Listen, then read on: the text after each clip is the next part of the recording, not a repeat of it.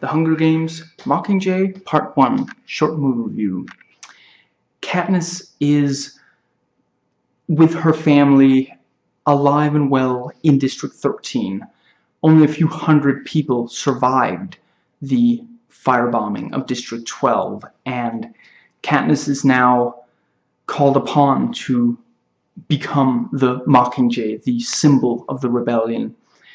And at first she doesn't know if she can, but when Peeta is shown on TV from the Capitol calling for a ceasefire, most of the people in District 13 think him a traitor, and Katniss fears that if the rebels win, he will be shot as one.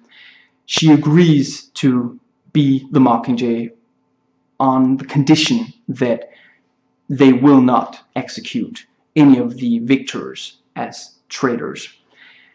This is fairly different from the first two where they were this kind of reality TV satire with gladiatorial battles. This is a guerrilla war you know story with these dueling propaganda you know it's it's very much about using media in in part you know it reflects values of society but can also affect change in that society. And yeah we basically have a dictatorship trying to tell its people you know yeah using propaganda on its own people and we have this rebel force using propaganda to you know gain support like you know IS or yeah it's and the the fact that the this book was split into I've only you know read the first half of the book but certainly it is a bit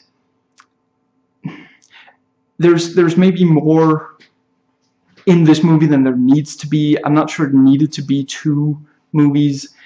And while they do they, they use that extra time to flesh out District 13 and some character stuff and such. They also add some action scenes where you can really tell that these were added.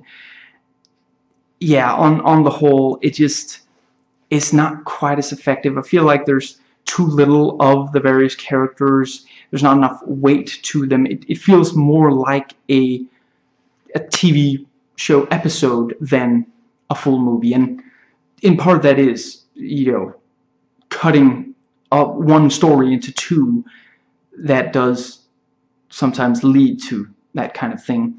But overall, it definitely is a, fun, tense ride, and yeah, they they do some very interesting stuff with these characters again.